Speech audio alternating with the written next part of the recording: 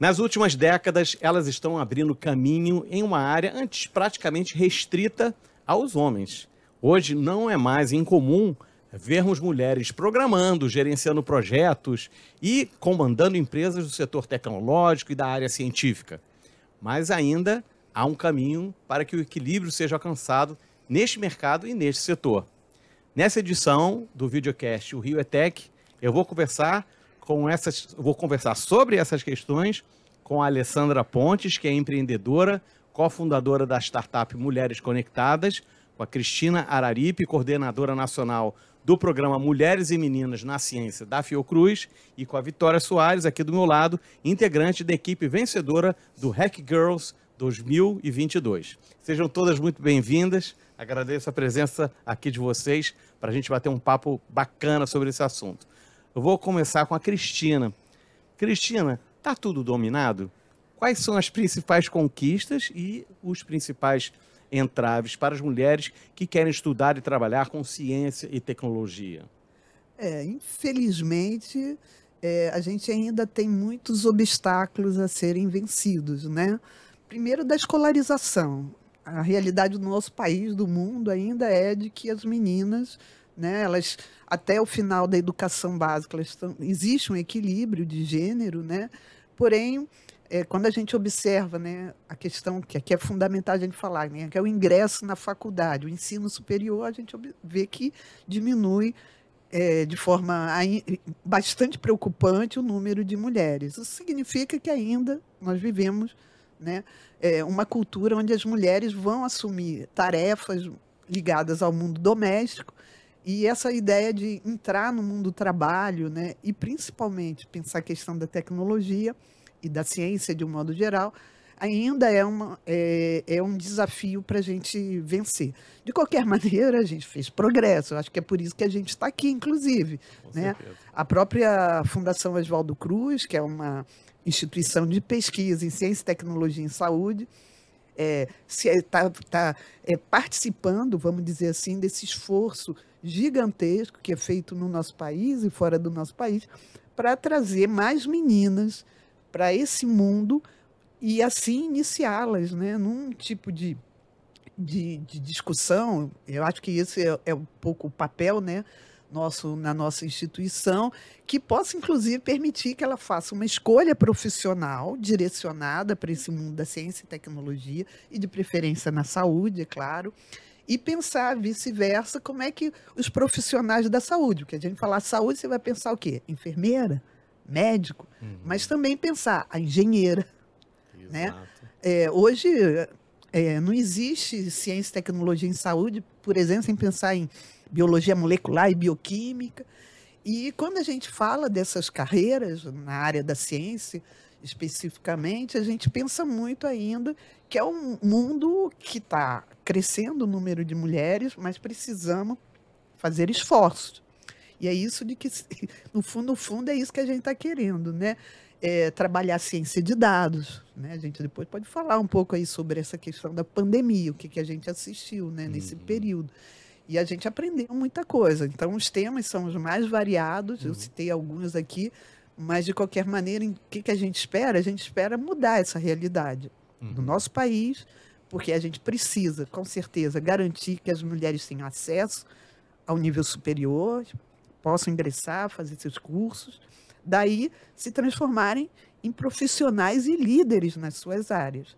Isso é fundamental. E falando em, especificamente nesse mundo tech, da tecnologia, aí o desafio é gigantesco, né? A gente precisa realmente de políticas públicas. Eu, pelo menos, eu sou especialista mais nessa questão das políticas para jovens pesquisadores uhum. e dentro dessa ideia dos jovens pesquisadores direcioná-los para esse mundo onde a gente sabe que ainda há uma domina, dominam os homens, né? uhum. né? É, uma amiga minha que fez curso lá do P15 da PUC, que é um, um dos primeiros cursos de informática, não era nem informática, na época, ela era tipo a, única, a única mulher, né? Assim, amigas engenheiras, assim, mas isso tem 30 anos, né?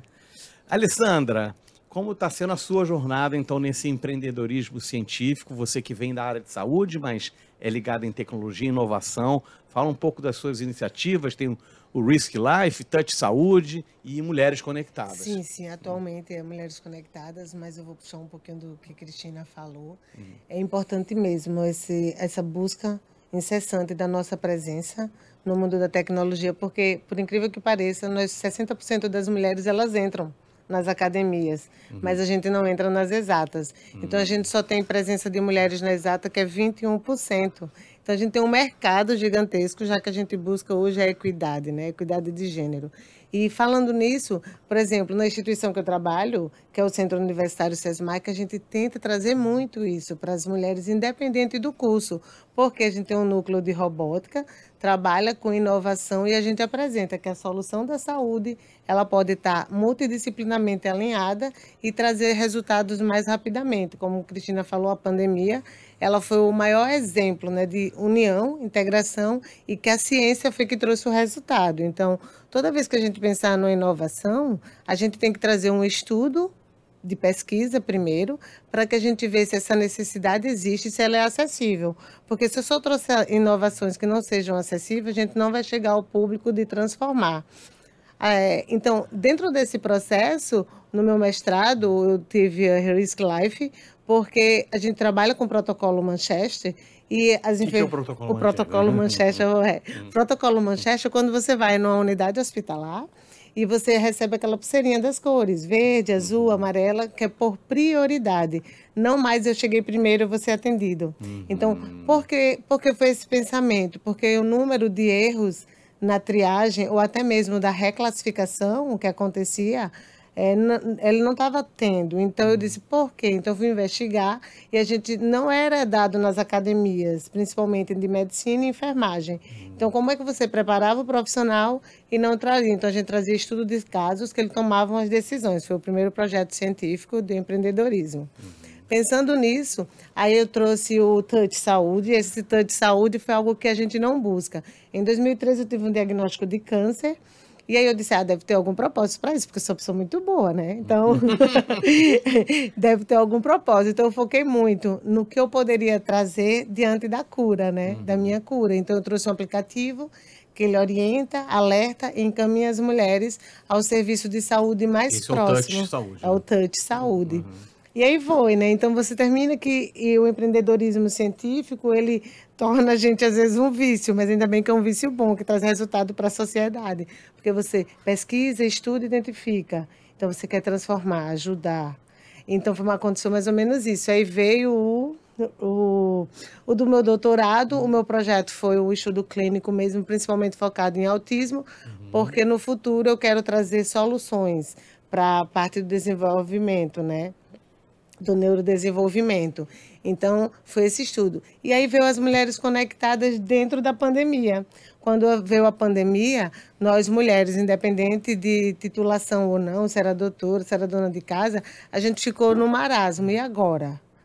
E aí, muitas pessoas por, na, no meu estado, Alagoas, e por eu ser de de uma academia, eu fui procurada com a minha amiga e sócia Jéssica como é que eu poderia começar um empreendedorismo digital?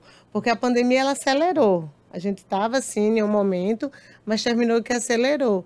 E dentro disso, a gente começou a dar orientações, a gente começou a, a participar do próprio projeto. A gente foi uma das primeiras mentoras do Hack Girls. Então, dentro desse processo, veio essas orientações e surgiu as mulheres conectadas, com o foco de sim mostrar para a gente que nós mulheres, a gente pode sim descobrir as exatas e trazer transformações, além da criatividade que a gente já, já tem, né? E essa mudança realmente ela precisa ser bastante significativa, porque no decorrer a gente vai conversando, mas a gente tem que ter muito cuidado porque é, a tecnologia ela ainda não está acessível. Uhum. Nós estamos entrando no abismo digital e a gente precisa oportunizar. Senão a gente fala de tecnologia, não traz as mulheres e a gente torna novamente as mulheres sem a liberdade de escolha. Então, Mulheres Conectadas Vou falar com a Vitória, é um, bom, é um bom exemplo, né? Que é uma, é uma jovem que está se envolvendo. Como é que você se envolveu com tecnologia? Você gosta de games, redes sociais? E como é que foi a tua iniciativa aí para esse Fala um pouco sobre esse Hack Girls do ano passado, né? Foi isso, Isso, né? isso. Sua experiência, o que, que você achou? Então, Hum. eu comecei a mexer com tecnologia conforme os jogos, né? Vi a minha família jogando, aí eu jogava também. Aí começou a evoluir para as redes sociais, a gente foi se enturmando cada vez mais nessa área. E apareceu a oportunidade do Hack Girls ano passado. E o meu diretor, que sempre foi muito por dentro das novidades, ele trouxe essa proposta pra gente de participar. Aí eu consegui criar um grupo assim na correria de seis garotas, que é a Cassiane, a Mariana, que é minha gêmea. Ah, Ah, legal. sim. A Gabi e a Lohane. E a Isabelle também. E a gente foi. Aí ao longo do evento, que são três dias, eles Foi ensinam. aonde esse evento? Na Fiocruz. Na Fiocruz Na mesmo. Fiocruz. tá. Eles ensinaram um pouco sobre design thinking, pitch, essas coisas. No segundo dia, eles deram a propos- a proposta da gente desenvolver um aplicativo que vem ajudar as mulheres futuramente. Aí, na hora, me veio a ideia de a quantas mulheres sofrem violência no ano. Infelizmente, muitas. Muitas. É. Na pandemia, foram 17 milhões, Caramba, 24 por- 24,4%. caramba. E atualmente, Nossa. desde a última vez que eles contaram, tá em 18,6 milhões de mulheres. Uhum. Então, quando veio isso na minha cabeça, eu pensei de a gente conseguir colocar esse projeto em para funcionar, porque, tipo, a gente não vai alcançar todas, mas quem a gente alcançar, a gente tem é, o desejo de poder dar um certo apoio, sabe, de ajudar elas. Então, na hora veio essa ideia, eu sugeri, elas gostaram, aí a gente criou nesse mesmo dia. No dia seguinte, a gente teve o pitch, né, de cinco minutos, que é uma apresentação rápida de um projeto. A gente apresentou ele, Chegaram a desenvolver um protótipo, não deu sim, sim, Ah, ele tem todo um tema e tal. Uhum. Ele ia subir ontem pra Play Store, só que eu acho que deu alguma coisa que ele ainda não tá no ar, mas ele vai subir hoje ou amanhã. Aí a é? Ah, gente... então foi, foi feito mesmo, Foi né? feito mesmo, Aham. ele foi, vai ser lançado. E Qual o nome? EPFO, Empoderamento Feminino. Tá bom. Mas é bem disfarçadozinho, sabe? Aham. Ele é bem. A gente tentou colocar ele de um jeito que não percebesse tanto que fosse um aplicativo para evitar a violência contra a mulher, sabe? Hum. Caso ela consiga pegar o aplicativo. Até por de conta dos maridos, dos, dos companheiros, né? Caramba, Tanto que, Tem que pensar tipo, nisso, é bem pensado. sim. é. Tanto que É. o símbolo é só uma borboleta. Só isso. Entendi. É tipo, como que ele vai adivinhar, É, né? entendi. E aí a gente Perfeito. conseguiu ganhar em primeiro lugar. Teve a oportunidade de ser bolsista esse ano. Esse ano eu tô como monitora no Hack Youth. Hum, legal. E ele foi lançado. Com vários objetivos dentro dele. Uma programação Quantos, muito quantos boa. grupos era? Quantos, quantos... Eram 10 grupos. Uhum. A gente conseguiu ficar em primeiro lugar. Hum. E os outros projetos também eram muito bons. Eu fiquei impressionada com a O forma que a... pessoal. Isso. Uhum. Tipo, porque geralmente não parece que a gente presta muita atenção nessas coisas, né? Por ser jovem e tal, só querer Uhum. prestar Ó, atenção Olha, hein? em outras coisas. Só que são coisas que a gente percebe, só que às vezes a gente não acaba falando. Aí as pessoas meio que. Não todas, Hum. mas tem muita gente que acha que a gente não liga muito. Entendi. Mas a gente tem, principalmente mulheres, né?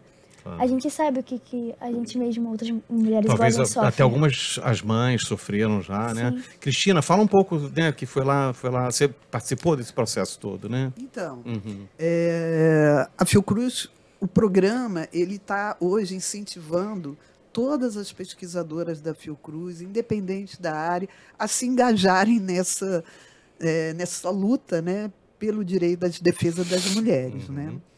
O contexto da violência por conta da, da pandemia de Covid é, fez exatamente com que a gente é, prestasse mais atenção em algumas questões que estavam fervilhando, mas não estava muito ainda claro para Fiocruz como todo o que, que a gente, como a gente poderia contribuir.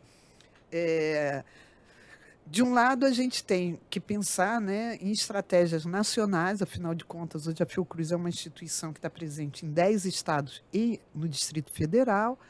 Essa, esse fato fez com que a gente apresentasse para toda a comunidade Fiocruz uma chamada e as pesquisadoras também, também tem o lado delas de se engajarem e apresentarem propostas. Uma delas que chegou, que a gente achou imediatamente algo muito interessante, foi fazer um hackathon especificamente para meninas, para a gente falar sobre esse tema. A partir daí, então, em 2022, tivemos a nossa primeira edição do Hack Girls. Uhum. A gente deu esse nome, batizou né, esse Uhum. projeto e entramos é, apostando muito alto nessa ideia de que a gente poderia mobilizar jovens estudantes da educação básica, especificamente do ensino Uhum. médio, que é isso um pouco que Vitória contou para a gente. Uhum. É, selecionamos várias equipes.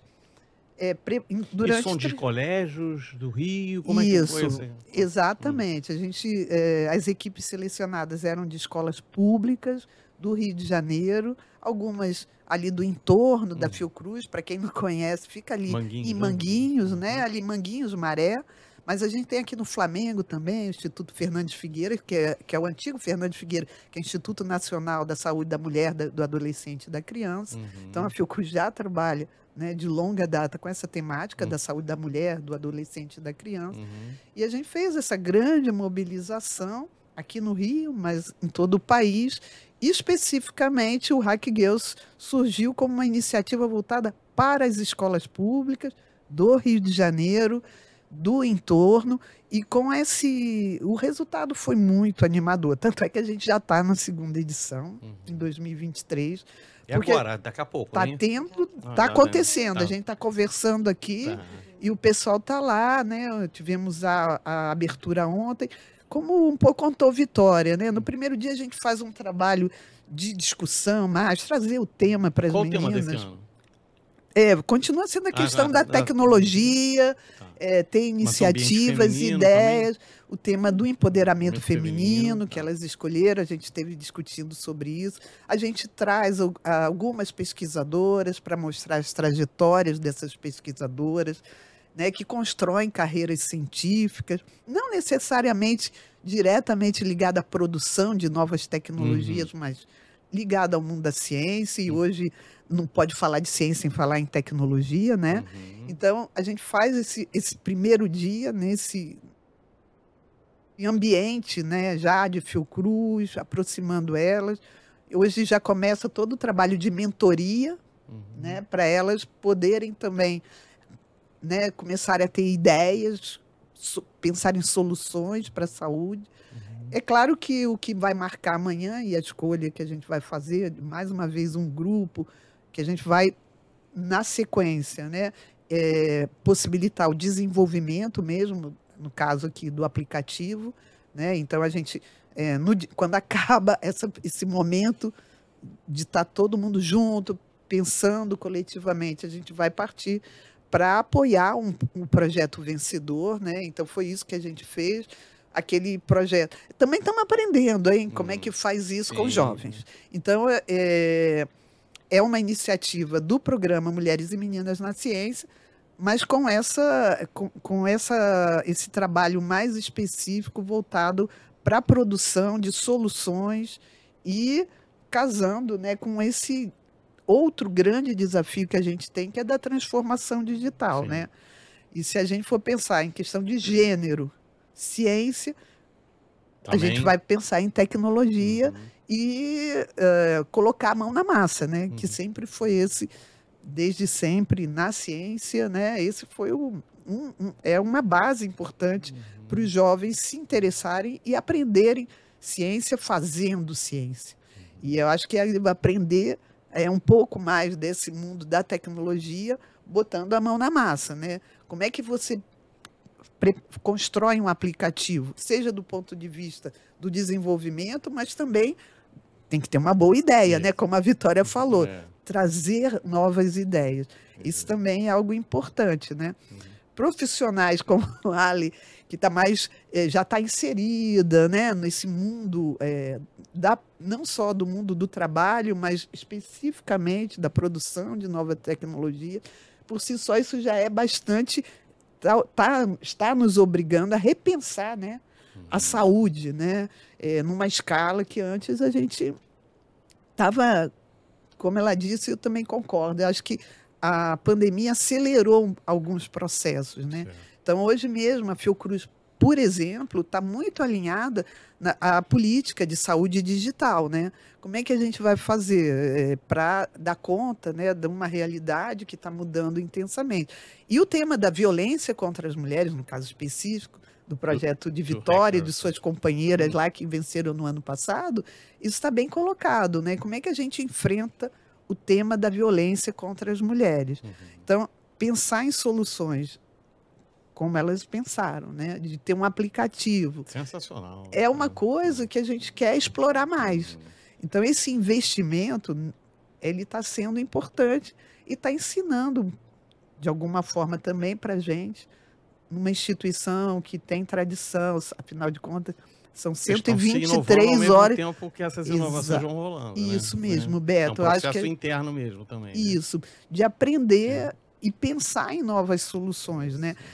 A saúde, ela em si, né, aí a indústria da saúde, né, a gente tem hoje o complexo industrial da saúde hum. sendo pensado como política pública, já envolve tecnologia, Sim. da produção de vacina a medicamento, mas a gente também tem que pensar nesse mundo onde a gente está é, lidando com pessoas, né, hum.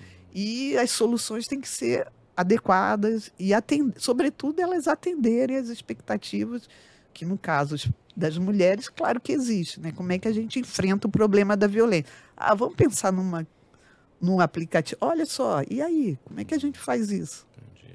Ale, fala dessa sua experiência, né? De você é uma empreendedora que, que lida com projetos, é, imagino as inúmeras dificuldades o que foi mais difícil para você? O primeiro desafio foi ser ouvida.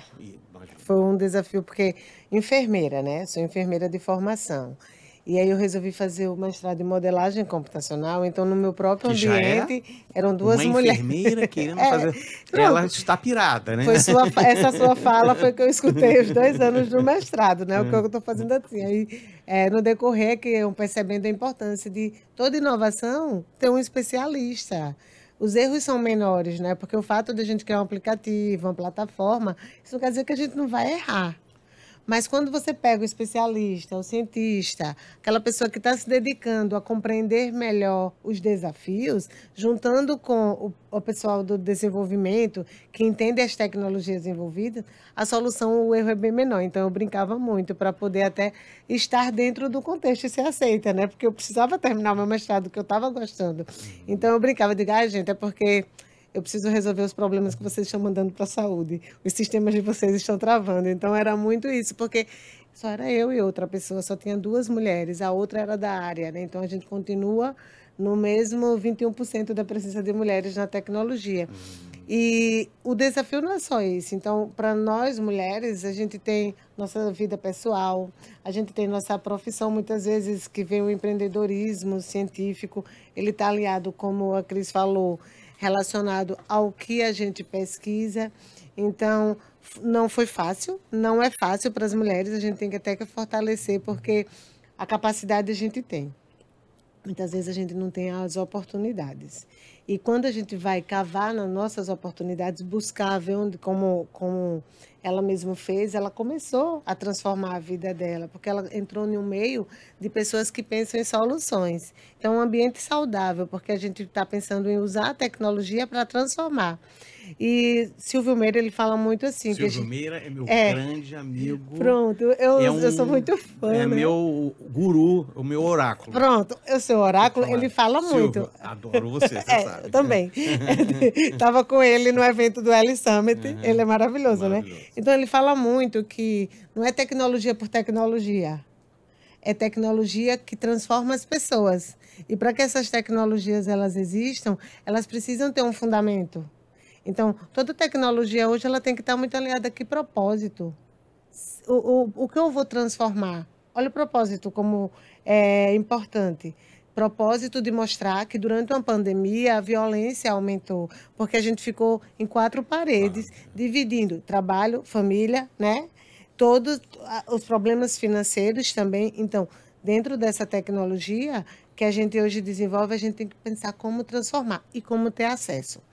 O inglês ele está muito presente na tecnologia. Então, uma das coisas das mulheres conectadas fundamental aprender é, inglês. Né? É trabalhar inglês, mas ao mesmo tempo a gente levar a oportunidade para quem não teve as oportunidades de estudar inglês. Então, muitas pessoas das comunidades, das áreas é, de vulnerabilidade, elas não tiveram nem acesso, às vezes, à educação. Sim. Como é que eu vou chegar falando design thinking, É. startup? É. Elas não vão saber. Durante a pandemia, a gente, a gente teve um, um papel muito importante no nosso estado de Alagoas, que foi trazer as mulheres para a frente de projetos de inovação. Então, não sei se você já ouviu falar, tem o edital Centelha, e tem a Fa- FAPEAL, é lá, que é Fundo de Amparo à Pesquisa, que é Faperd? Faperd. Que é a que é a então, junto com o Banco do Nordeste, elas pensaram, e como é que a gente aumenta o número dessa presença dessas mulheres como gestoras de tecnologia, né? Já que é o nosso papel. Então, a gente teve que fazer tudo isso, todo esse trabalho que a gente fez junto de mentoras da Hack Girls, é, trazer tecnologia, explicar para ela o que era um pitch. Porque a gente pitch, pitch, pitch, É, e as é mulheres. cantora, é é, cantora. é, é, a pessoa que é cantora. Então, as mulheres deixavam, ó, de uma coisa tão simples hoje, não é simples hoje? É. Mas no início você devia. Será que eu sei o que é pitch? Então muitas diziam, o que é pitch? Eu não vou me inscrever, eu não sei o que é isso. Então a gente começou a trazer uma linguagem mais popular, comum, com traduções já. Apresentar no vídeo rápido o que você pensa. E aí foi incrível, porque eram 22% de pres- Pivotar, pivotar. pivotar, né? Então são É. nomes que é fácil para a gente, é. porque a gente está no meio. Mas a gente não quer trazer mais pessoas, então a gente tem que ver um pouco qual o público que eu posso trazer, o público criativo, né? Uhum. Que nós brasileiros já temos uma criatividade no DNA, Sim. então fica tudo mais somos fácil. muito afeitos à tecnologia, É, né? é. A gente gosta, assim, de A gente mexer, gosta. Futucar, né? Então, a tecnologia não tem como dizer que ela vai embora. Ela já está presente há muito tempo, antes mesmo da pandemia. Sim. é como a realidade né, virtual aumentada, a inteligência artificial. Ela já está nos dispositivos que a gente usa. Ó. Conversa um pouquinho, quando menos espera, aparece lá É. um anúncio. É. Então, é mais ou menos isso, é o meio. Então, como é que eu transformo esse meio, já que ele existe no número de uma população? Então, esse meio, eu preciso saber e mostrar às mulheres que elas podem gerar renda, sua sustentabilidade, que elas podem, sim, compreender o que é inovação e ela pode abrir as suas portas das oportunidades. Então, o- foi o pensamento eu- tanto de, de trazer eventos como Hack Girls, como as mulheres conectadas. A gente poder, sim, desmembrar com ela. Dentro desses dados, a gente subiu para 43% de mulheres, não mais nos bastidores, mas como líderes de projeto de inovação, um dado da própria FAPEL em 2020, 2021, durante um processo que saía de uma pandemia. Então, nós mulheres sabemos o que queremos, temos nossas habilidades. O que a gente muitas vezes não tem é as oportunidades. Né? Então, é. mais ou menos, mas os desafios são grandes. É. Vitória, então, e vo- você, né, com 18 anos agora, você e suas amigas, é, como é que vocês estão vendo, assim, pensando em mercado de trabalho, em tecnologia, vocês pensam em trabalhar com isso? O que, que que você... Quero trabalhar com inteligência artificial, quero trabalhar com é, design de games, como é que... E, você e suas amigas, isso é uma curiosidade minha, saber se isso já... Que isso já é, Sim, é é uma parte. Na, na, na minha época isso era loucura. O cara tá louco. tá- vai, vai querer não fa- vai querer, vai querer ficar brincando de game, né? Isso. Para ela já acho que já não, já não é já não é mais isso, né? Trabalhar com é, marketing de redes sociais, esse tipo de coisa. O que, que você você gosta? Então, Uhum. é, depois que eu saí do Hack Girls, ou melhor, depois que eu Uhum. e tal, Uhum. eu fiz um curso de marketing digital, Ó. que é muito legal. Uhum. Ao longo do curso eu desenvolvi outro aplicativo, mas esse era só um aplicativo para o curso mesmo, a gente não vai lançar ele. E a equipe era menor, era só eu e um amigo meu. E a gente conseguiu desenvolver um aplicativo para pessoas com deficiência auditiva. Ele é bem legalzinho até, mas infelizmente ele não é lançado. Uhum. Mas ele é muito bonito. E uma das meninas do nosso projeto, ela gosta muito de design. Ela desenha muito bem também. Uhum. Ela fez o nosso design do aplicativo e para apresentação também. A gente desenhou um cartaz muito grande com uma mulher deitada e umas marcas de mão assim ao longo do corpo dela. E tipo, ela tentando pegar uma lâmpada com um cérebrozinho dentro. E ela tipo fez muito bonito. Tem outras meninas também. Minha irmã tá mais pra área da ciência, né? Que ela, na verdade, ela quer virar veterinária. Tá. Ela tá mais pra essa área. Uhum. Eu fui mais pra produção e um pouquinho mais de tecnologia. Uhum. Porque eu acho uma área muito legal. Mas produção Você realmente tem, você tem coração. facilidade de lidar? Eu vou fazer uma pergunta meio técnica para vocês aqui, mas para ela vai ser. Você, durante a pandemia, você usou muito é, o Discord, Among Us, você jogou muito Among Us. Como é que foi sua, sua interação digital? Você, porque todo mundo ficou muito envolvido com o mundo digital. E você, você sabe, eu soube através do meu filho, tem 17 anos, desse Discord. Não sei se vocês. É, Discord. é, Discord, eles ficavam conversando entre si para jogar o Among Us, né? Sim, não é sim, isso? sim. Quer dizer, é uma- e eles vão descobrindo. Eu acho isso sensacional. Eu acho sensacional. Assim, A gente tem que aprender com eles. Por isso eu vou falar até de um tema aqui super importante, que é o letramento digital. Que eu falo isso nesse programa semana sim, semana não. falo. Não é por, porque a gente precisa. Eles, eles têm mais acesso, mas tem muita gente que não tem. Principalmente aí a gente vai falar de pessoal né, da, da- do etarismo que se sentem alijados, não, né? Tem gente que não consegue fazer um, um internet banking e, e- e às vezes você tem serviços no Brasil que ou você faz pelo celular ou você não faz, né? Então, mas então é, você você se deu bem com isso, você transita bem nisso, não, não tem problema. Você às vezes acha que você fica muito tempo na, no, no celular? Tua mãe acha isso, teu pai?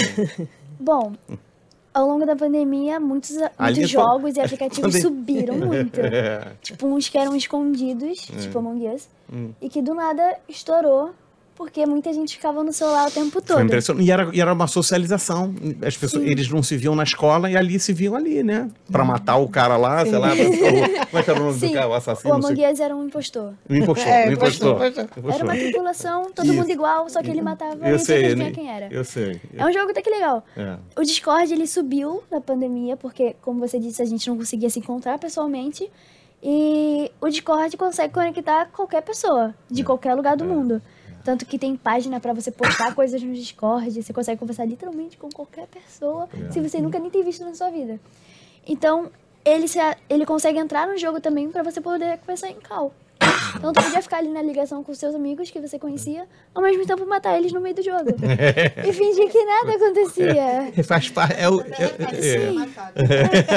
Mas eu, eu fiquei muito impressionado também que recente, eu até falei é, numa coluna minha também, porque o, o- o meu filho está em ano de vestibular e aí ele falou que ah, sexta-feira eu gosto de ficar em casa para jogar o Fortnite, para ficar conversando com os meus amigos. Eu falei, peraí, vai jogar ou vai conversar com os amigos? Não é o jogo mais o lance. É que virou uma praça para eles. Essa é a praça. Não tem praça física, né? Então tem a praça virtual. Ele, o, que, o jogo é o que menos importa. Se matou, se, não- se descobriu, se deu tiro num no outro, lá no, no caso do Fortnite, né? Mas eu queria falar sobre uma- um assunto importante também, que tem a ver com o universo feminino. E a gente teve um, um exemplo horroroso essa semana do mau uso da inteligência artificial com um colégio aqui do Rio, não sei se vocês souberam, que ah, ah, talvez você não, que colégio de classe alta, média alta, isso, era manipulação de nudes, né? Então, e como é que você queria saber de cada um, queria perspectiva de cada um de vocês, é, porque a tecnologia, né, da, da mesma maneira que a fissão atômica você pode usar para gerar uma energia boa e você pode fazer uma bomba. E, e- e, assim, eu nunca falei, as pessoas nunca falaram tanto de uma tecnologia, eu acho. Nem, acho que nem quando a internet eh, chegou, porque a internet veio aos poucos. De novembro do ano passado, quando o Chat GPT surgiu e essas, e é, e essas tecnologias de manipulação de imagens chegaram, a coisa é absurda. A gente fala muito disso. Queria saber, eu vou começar pela Cristina, o que, que você acha. Isso eu sei que você não é especialista, ninguém aqui é especialista nisso, mas como você vê, e eh, puxando para o universo feminino, que é, é, teve uma reportagem do Fantástico de uma parlamentar é, americana que manipularam e com, fizeram é, filmes pornôs que e- você não sabe, né? O Vinícius sabe aqui que a gente falou essa semana, eu coloquei uma coluna minha e num, num programa que faz a, uma tradução para qualquer língua que você quiser, e, e você, você vê você falando japonês, você não acredita. E, meus amigos falaram que não sabia que você, você falava japonês. Eu falei, eu não falo. Eu não falo. Mas assim, é tão perfeito que chega a esse ponto. Os perigos disso e os, e os benefícios por outro lado. O que, que você acha, Cristina? É, realmente é, a gente tem pensado muito sobre isso, né? São muitas questões aí que a gente tá, vai ter que enfrentar daqui para frente, né? A questão do nudes, por exemplo. É um tema que já está sendo tratado, aliás, queria dizer, por alguns colegas pesquisadores Ah, da bom, Fiocruz. bom. Conheço até um, é, alguém que estava fazendo uma tese de doutorado sobre isso. Nem sei se ela já defendeu, uma Hum. pesquisadora lá de, de Minas Gerais, da Fiocruz, cuja orientadora exatamente trabalha com essa questão da violência contra as mulheres. E, a- no caso, a doutoranda Que é sempre professor- mulheres, né? Isso. Não coloca nudes de homem, né? Exatamente, a grande maioria. E essa, mas você me remete a um, algo que eu acho que tem a ver com, com, com, com esse debate, que é a questão da fake news, né? Sim. É, em- embora eu não entenda especificamente sobre esses aspectos tecnológicos, da Uhum. manipulação, é, já por outro lado, eu- o, o tema né, do negacionismo, das fake news, é algo que a gente discutiu muito lá na minha área, na Fiocruz, que é da comunicação pública da ciência, comunicação pública da saúde.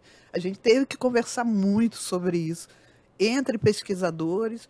E o grande desafio que está colocado é os pesquisadores falarem com a sociedade sobre isso. Quanto isso pode gerar, né, no caso, a desinformação, mas o que é pior, a morte também, né? Dizer que vacina não vai, é, Putz, né, não, É. não tem que tomar é, que o que o, o, o governo da Inglaterra proibiu porque descobriu que pode É. dar câncer. É. essas coisas, né? É, É. como o pessoal um pouco levou, né, assim, para um lado meio, parece uma piada, mas não era, né? Tomou vacina, vai virar jacaré, Jacaré. gente. Então, assim, é, calma lá, né? A gente sabe o, o perigo que tem, né? Só que a fake news é uma realidade hoje, é um debate político enorme, a manipulação da informação e, no caso específico, a desinformação também. Então, nesse ponto, eu acho que preocupa a gente. Se a gente pensar em termos das. é, é, eu acho que uma forma de enfrentar isso realmente é educação de qualidade para todos. E a gente não tem isso, infelizmente. E letramento digital, né? Que que você Exatamente, fale era esse isso. ponto É. que eu queria chegar. Você tocou no assunto do letramento digital. A gente pode falar do, le- do letramento de um modo geral, pegar a questão científica, né? Alguns gostam de falar termo tradução do inglês, alfabetização científica. Uhum, Eu não gosto muito desse termo, mas dá para entender o que a gente quer dizer. uhum. né? Você, tem você não precisa ser especialista, não precisa ser espe- cientista, pesquisador para entender. Você se informa É, sobre aquele isso. assunto. Para isso a gente existe. Para isso a gente tem que disseminar informação de qualidade. Eu sou coordenadora de divulgação científica da Fundação Oswaldo Cruz. O que é a divulgação científica? É levar essa informação, seja através da linguagem do teatro, mas também das tecnologias digitais, os aplicativos e tantos outros softwares que a gente desenvolve com o objetivo não só de melhorar o serviço, né? A é, enfermeira, ela sabe disso quanto é importante. Ela já citou aqui alguma, algumas experiências dela, mas esse esse trabalho da pesquisa chegando lá na ponta, né, sendo transformado acessível, essa ideia do acesso.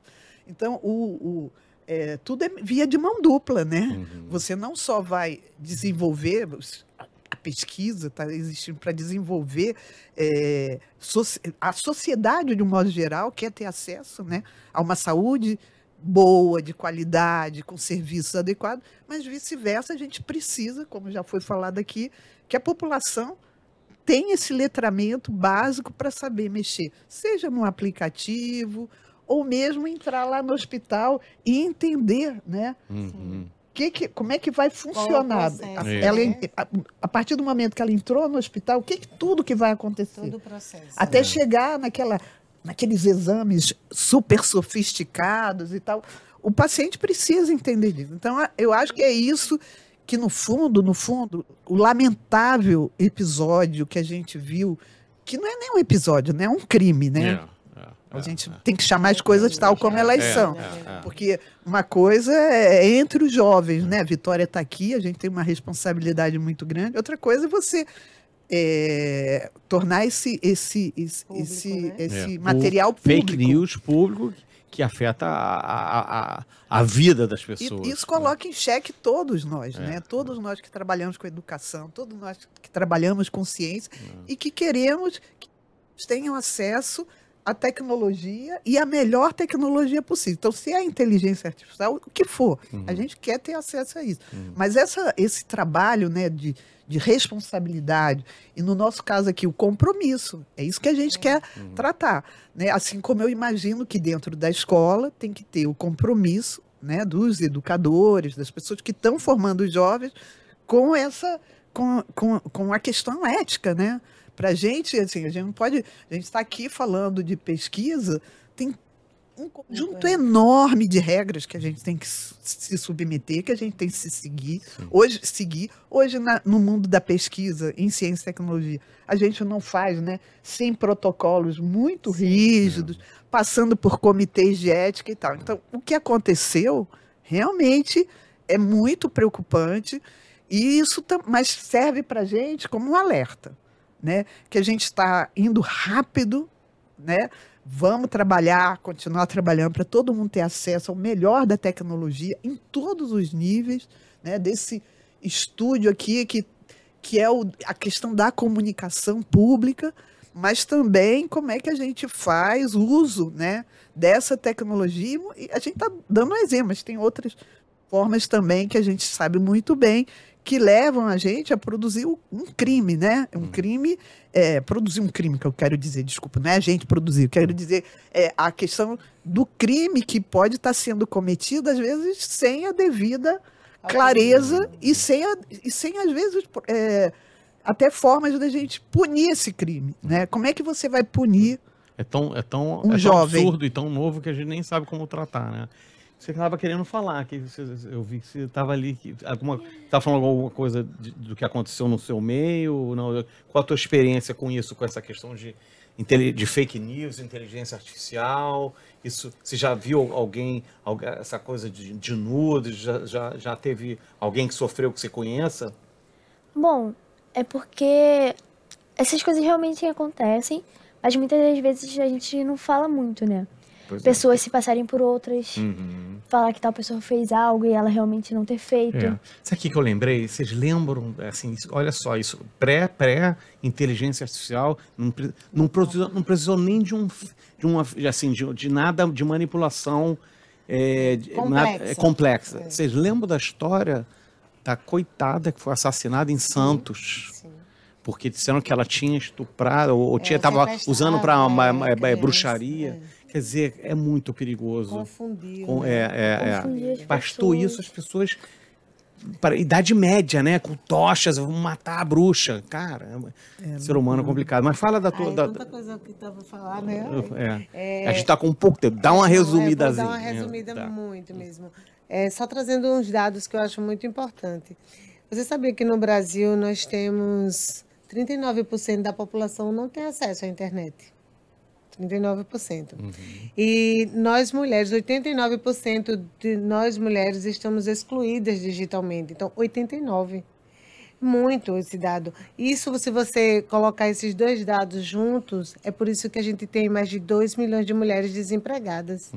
Por quê? Porque quando você vai em busca de um trabalho, você é questionada o seu, a sua ferramenta que você usa. Teu e-mail, cadê o teu e-mail? É, se você compreende, aí entra no que você falou, do letramento, da alfabetização digital. São vários nomes, mas que significam a mesma coisa, a necessidade de ensinar o básico a pessoas que não tiveram acesso. Então, é, a- as mulheres conectadas, a gente pensou nisso também. Por que com dois N's? Eu fiquei. pre- Ah, é, mulheres é, conectadas com dois anos, porque a gente leva a mulher a um novo nível de Ah, oportunidades. Tá né? bom, tá, Stacy, a mais É, ter alguma. esses desenhos era isso, porque a gente precisa trazer, sim, novas oportunidades para essas mulheres, como ela teve, Uhum. eu tive. A gente foi buscar muitas vezes, não foi fácil, Uhum. mas, mas graças a não ser fácil, que a gente mostra cada vez mais também nossas habilidades. Só que agora a gente quer facilitar um pouco. Porque a alfabetização digital, depois desses dados todinho, você viu que a gente vai continuar sem oferecer oportunidade para essas mulheres. Se eu tenho 89 milhões delas que não têm acesso digital. E como elas não têm acesso digital, tudo isso que está acontecendo, elas estão A margem. à margem. Uhum. À margem desse desconhecido. A gente não vai mudar esse gap de gênero, não vai trazer equidade. Né? Os 50-50 tão sonhado por nós, mulheres. A gente Até precisa- mais, que vocês são mais vulnerosas, né? é, 50% de, de equidade. Os homens e as Ah, sim. mulheres no mesmo espaço. A gente precisou de criar leis criar leis do salário, criar. Então a gente sempre está conquistando o nosso espaço criando leis, uhum. leis contra a violência, lei contra o, o não salário igual, uhum. né? Lei do assédio. Então, as nossas conquistas sempre estão baseadas muito em lei. Voltando para o letramento, então hoje, quando a gente traz na nossa plataforma, a gente conseguiu desenvolver, estamos em fase de validação, um protótipo é um, um, dispositivo que nesse dispositivo você vai conseguir ter todo o treinamento conectando só na sua TV, sem internet. Olha, legal. Porque levando essa, essa informação através desse dispositivo, a gente acredita que a gente vai conseguir, no, conseguir diminuir esse letramento. Porque não tem idade para o analfabetismo digital, né? Então a gente precisa trazer essas informações, porque as pessoas elas precisam se comunicar. Uhum. E é uhum. essa comunicação que está à margem de muitas outras pessoas que não têm o acesso. Uhum. Falando em como a gente vai tratar, é, toda inteligência ela tem dois lados, o positivo e o negativo. E a gente tem que levar o conhecimento para as mulheres, para as pessoas, que quanto mais conhecimento positivo você tem, você transforma, porque o outro você destrói. E você tem até um resultado muitas vezes mais rápido, né, da fama, da projeção, mas ele também vai embora mais rápido. rápido é. Então, a ciência, o conhecimento é algo que a gente tem que deixar ele acessível. A gente já está no século 21. E no século 21 as pessoas estão preocupadas se vai perder o emprego pela realidade aumentada. Né, coisa que a gente escuta muito, né? No é, nosso, Ou inteligência é, artificial, realidade ah, virtual. É, é, mas aí volto para a fala do Silvio Meira. Ele fala: não é as tecnologias que vão tirar o seu espaço. É você também acompanhar essas tecnologias. É. Então a gente precisa acompanhar e precisa é. oferecer. É, a pessoa fala, eu não vou perder o emprego para a máquina, mas vou perder um emprego para o cara que sabe usar a máquina. É. Então, você tem que usar essa tecnologia. Você tem que usar, então, independente da idade. Então, muitas vezes eu questiono quando a gente fala inovação, é para novo. O nome é inovação, hum. mas a inovação é para todos. Eu não sou hum. jovem, né, de 18 anos, mas eu busco o conhecimento da inovação. Sim. Eu gosto. Tem que ser. Hoje em dia é, tem que ser. Eu busco, eu gosto. Então, é, no, como a gente falou aqui, a gente não domina, mas a gente compreende se precisar e tá, dominar. E tá ligado, tá ligado. Ao movimento, porque o movimento, o mundo sempre fala, gente, o mundo não vai parar por vocês. Isso. A gente precisa estar alinhado o que o mundo oferece, quais as oportunidades que tem e também em busca, né? Ah, será que o dispositivo vai dar certo? Eu não sei. A pergunta que eu faço é, eu já estou fazendo a minha parte. Hum. Você precisa fazer a sua. No mínimo, muitas vezes, sentar e estudar. Porque aquele tempo, às vezes, que eu fico olhando a vida dos famosos, eu poderia estar usando para vender algo na internet. Hum para trazer, um para aprender, para usar funcionalidade, é. para usar cursos, né, professora? Isso, isso. que a gente tem tanta coisa de graça muito aí. De graça. É. Na pandemia, eu acho que foi o é. período que eu é. mais fiz curso em é. Harvard, foi todo quanto é, era É, Harvard. 0800, né? Eu sempre brinco, 0800. Então, o acesso existe, sim, para algumas já, para alguma camada. A gente acredita que dê certo esse dispositivo que já estamos oferecendo, já está sendo validado, porque a gente vai levar conhecimento. Mas é que nem um livro. O livro está na prateleira, mas você precisa querer saber se você quer ler. É, de abrir ele, né? De abrir. Isso aí. Adorei, meninas. Sensacional. Nosso tempo acabou, mas foi muito bom. Queria agradecer então a presença da Cristina, da Ale, da Vitória, essas meninas super poderosas aqui. Muito obrigado. E esse é o Rio Etec. Na semana que vem a gente volta. Até lá.